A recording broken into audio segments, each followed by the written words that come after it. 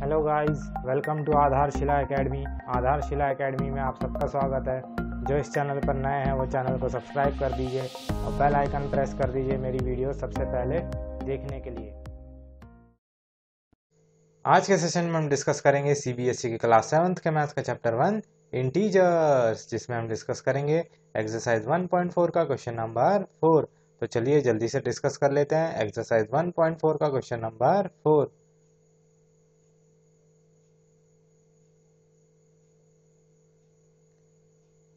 question number four है, write five pairs of integers A B such that A divided by B equal to minus three one such pair is six and minus two because six divided by minus two equal to minus three यानी कि हमें दो integers दिए हैं, जो है ए और B और हमें इन दो इंटीजर्स के फाइव पेयर्स बनाने हैं। और ये पेयर्स ऐसे होने चाहिए कि जब हम ए को डिवाइड करें बी से तो हमें मिले माइनस थ्री और उनमें से एक पेयर हमें क्वेश्चन में ही दे रखा है, जो है सिक्स और माइनस टू क्योंकि जब हम सिक्स को माइनस टू से डिवाइड करेंगे तो हमें मिलेगा माइनस थ्री तो हमें बाकी के बचे हुए चार पेयर्स बनाने हैं। तो चलिए एक एक करके बाकी के चार पेयर्स को हम बना लेते हैं। तो इनमें से सेकेंड जो पेयर होगा, वो होगा माइनस ट्वेल्व और फोर और जब हम माइनस ट्वेल्व को फोर से डिवाइड करेंगे, जिसको हम यहाँ कर लेते हैं तो हम अंदर लिखेंगे ट्वेल्व और बाहर आएगा फोर इन दोनों को हम नॉर्मल नंबर जैसे ही ट्रीट करेंगे। यानी बिना माइनस के साइन के साथ। तो फोर की टेबल में ट्वेल्व जो है वो थ्री टाइम्स आता है और ये जो माइनस का साइन ट्वेल्व के साथ लगा था, ये अब थ्री के साथ लग जाएगा। तो इस तरह जब हम ट्वेल्व को फोर से डिवाइड करेंगे तो हमें मिलेगा थ्री और ये थ्री को हम माइनस के साइन के साथ लिखेंगे। तो ये हो जाएगा minus three. Minus twelve divided by four equal to minus three. तो ये तो था पेयर टू। अब देखते हैं पेयर थ्री।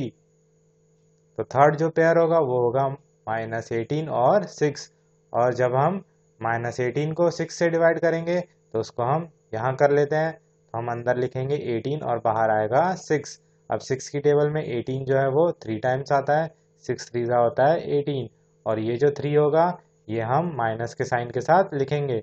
तो minus eighteen divided by six equal to हो जाएगा माइनस थ्री तो ये तो था पेयर थ्री अब देख लेते हैं पेयर फोर तो हमारा पेयर फोर होगा माइनस ट्वेंटी वन और सेवन और जब हम माइनस ट्वेंटी वन को सेवन से डिवाइड करेंगे तो उसको हम यहाँ कर लेते हैं।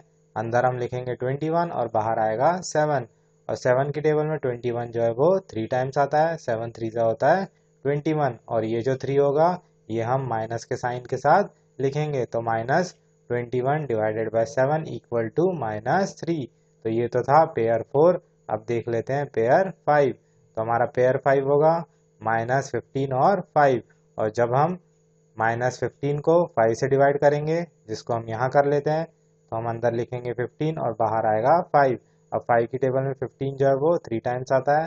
फाइव थ्री ज़ा होता है फिफ्टीन और ये जो थ्री होगा, इसको हम माइनस के साइन के साथ लिखेंगे। तो minus fifteen divided by five equal to minus three तो बहुत ही ईजी क्वेश्चन था और इसके बहुत ही ईजी सॉल्यूशंस थे। तो आज के सेशन के लिए बस इतना ही। अब हम अपने नेक्स्ट सेशन में मिलेंगे और इसके आगे की जो क्वेश्चन है, उनको हम डिस्कस करेंगे। तो अगर आपको इस सेशन में कोई भी डाउट हो तो कमेंट करके बताइएगा। मैं आपके लिए एक अलग से सेशन बना दूँगा, उसमें आपको और अच्छे से एक्सप्लेन कर दूँगा। तो चलिए, मिलते हैं अपने नेक्स्ट सेशन में।